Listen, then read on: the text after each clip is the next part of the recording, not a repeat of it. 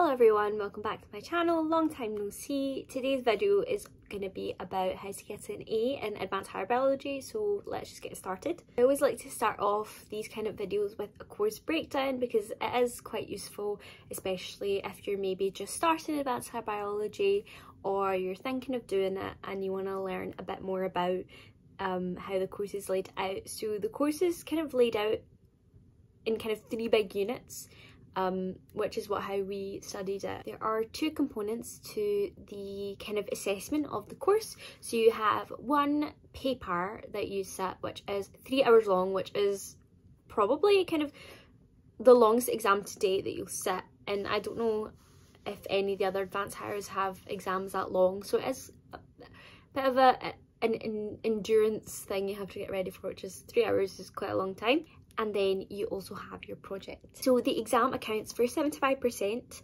um, 20 marks come from the MCQ section and 80 marks come from the extended response, kind of structured um, response questions and then the project is 30 marks, it's worth 15%, so 75%, 15%. Um, I don't really have any specific tips for the project just because I didn't do it. Um, but from kind of looking at the course spec and kind of reading around it, I would just say look at the marking sheet um, and do not exceed the word count. The word count is 3000 to 3600. This is all in the course spec. Um, I would stick to that definitely because 10 uh, because you don't want to lose marks for something so easily controllable which is the word count. Project overview section of the course spec literally has exactly where you're getting the mark. So, so like when you're doing your report, go through this mark. Okay, I've got an abstract. It states the main aims and findings, or the overall findings. I'm good. I've got that one mark.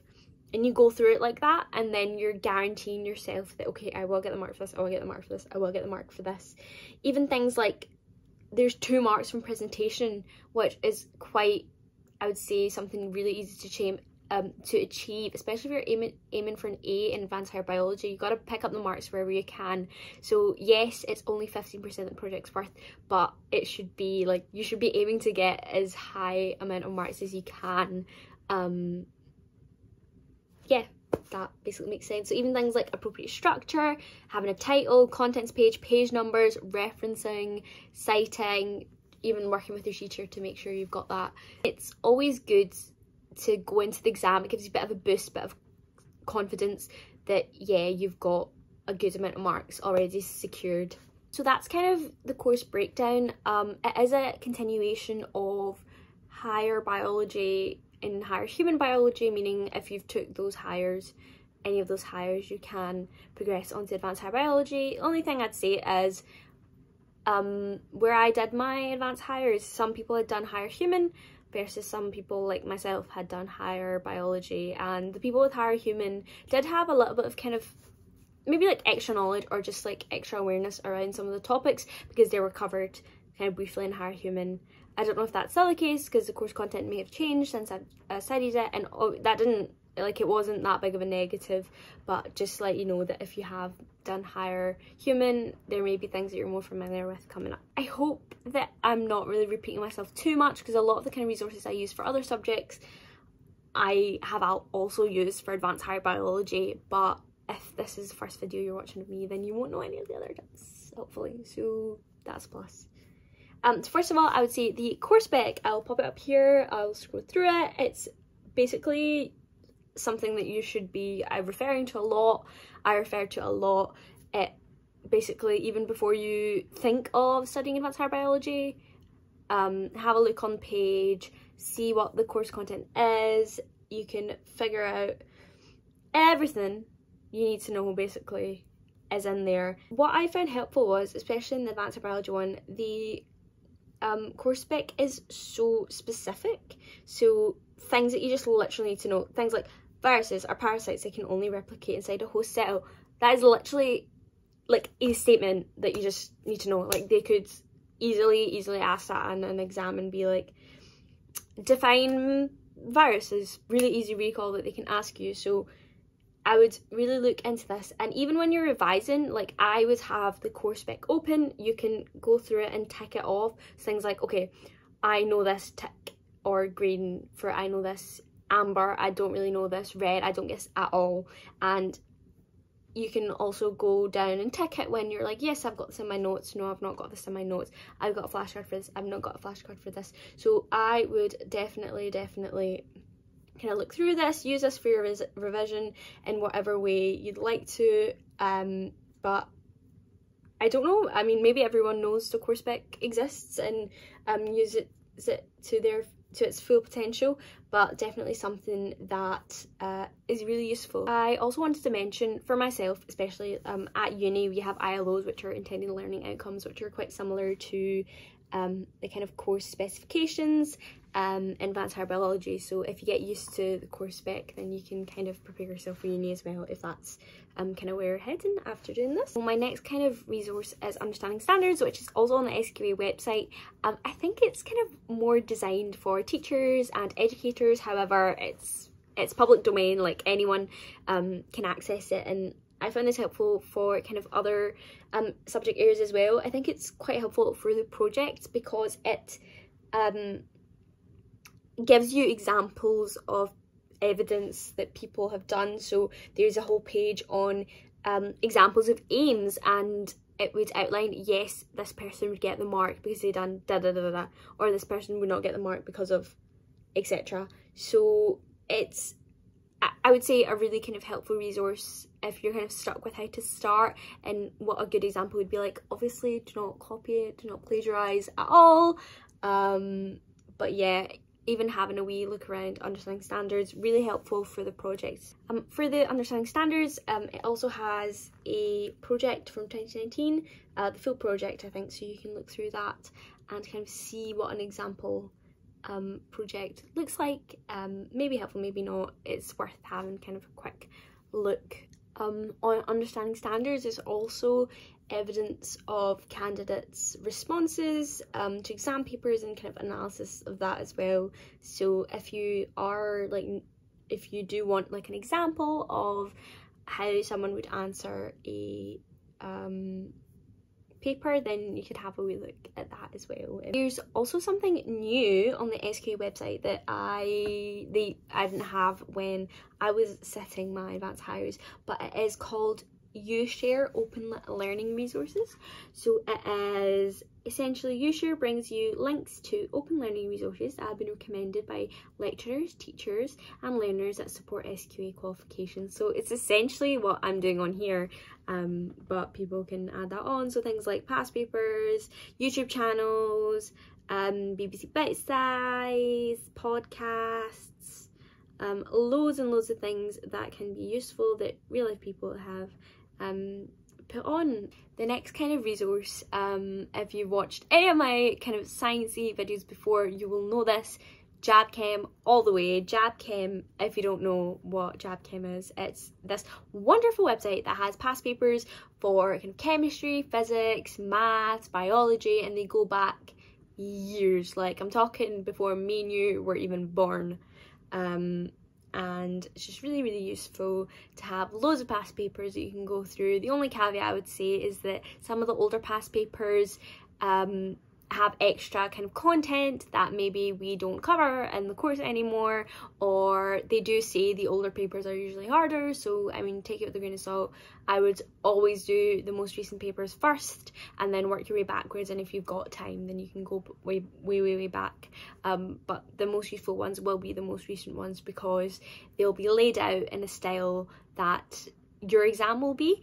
Um, in the sense that the way the way the questions are asked, the way the problem solving questions are worded, um, the, the content that's covered. But if you need more kind of um, resources and more past papers to do, then JabChem has them all. Also, someone on my one of my other videos, I think it was my chemistry video, um, said that they worked with JabChem, and I was like, oh my god, that was insane. Please tell whoever runs JabChem thank you because yeah, I'd love to meet JabChem one day and like interview them and be like, how does it feel to have saved the lives of so many students? So another kind of tip slash resource I would say is any kind of good flash card making app because I felt like this is talking from personal experience the jump from higher to advanced higher was a lot like higher biology did have a lot of content but I felt kind of manageable making my notes in class along with the teacher.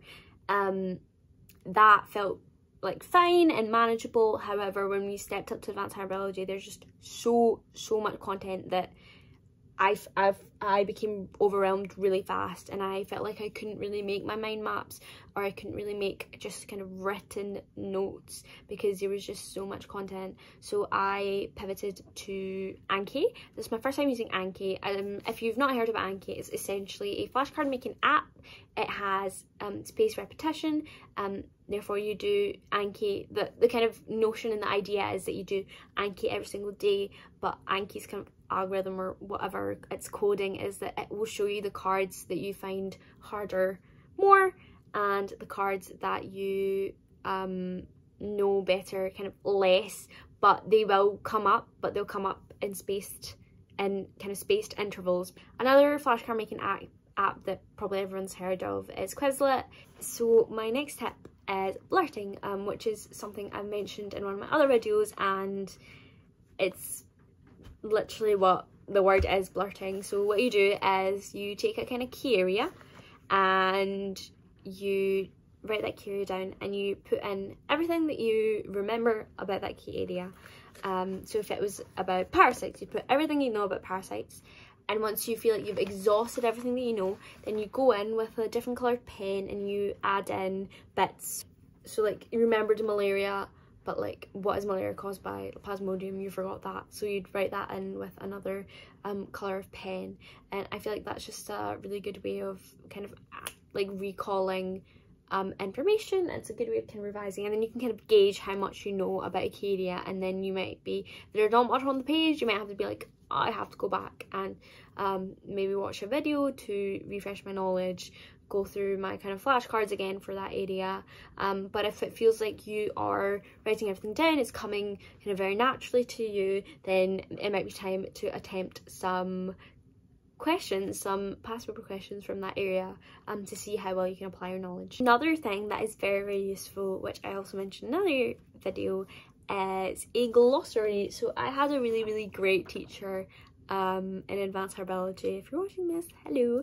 Um, she was just the best. She'd um, print out kind of all the notes that we needed. No, like she'd print out like all the PowerPoint slides and would also have um, kind of this is like a glossary. So you'd have the term and then you'd match it up obviously to the um, definition. And another point about blurting, blurting is basically the kind of essays that you have in the extended answer paper. So if you scroll through and through the papers, an example of a past paper, you would see kind of like a paragraph of text and then you'd kind of talk about it. And that's quite simple is describe the structure of viruses and explain why they're classified as parasites. So that's kind of your key areas of parasites and you're essentially when you're blurting you are basically doing the essay so even if you take the kind of essay questions and put them kind of all the essay questions from the years um previous and put them in a word doc and just use that as blurting.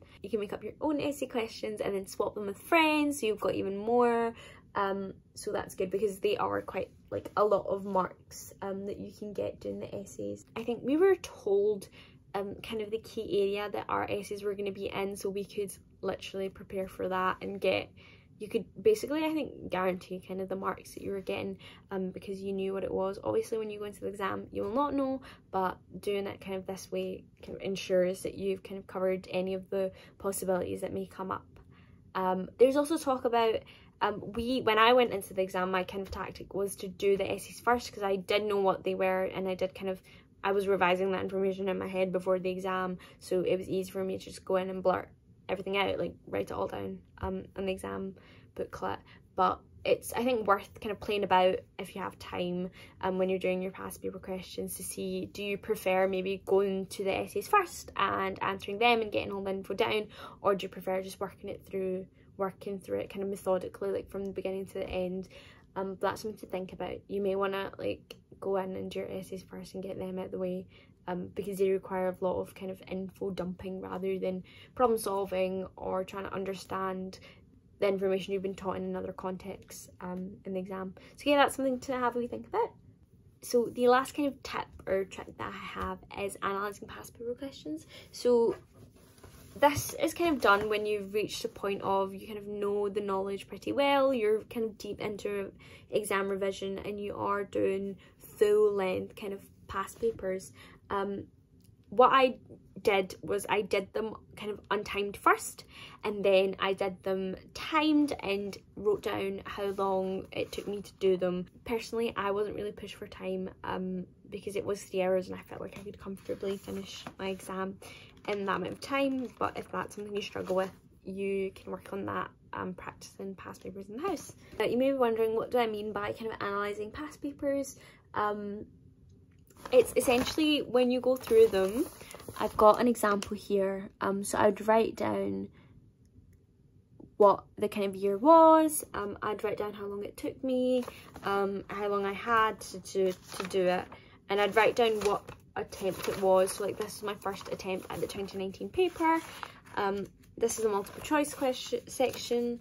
Um but the real kind of info came in when I started the kind of extended answers. So I'd go through it, I'd write down kind of where I got things wrong, add in kind of info that I needed to get the mark and I'd be quite strict with myself um, because I always felt like it was better to be stricter and get a lower mark than kind of I don't know have a, false sense of security. I mean it was pretty like marking biology is pretty straightforward um um because if it's straight recall then you either know it or you don't know it um but yeah and I'd practice all of them. I'd go through and I'd mark it and then at the end I would always um, write down kind of things that I need to work on. So specific key areas that I might need to work on um, and that would kind of be what I'd do. So I have all of these from I have loads more from each every every year.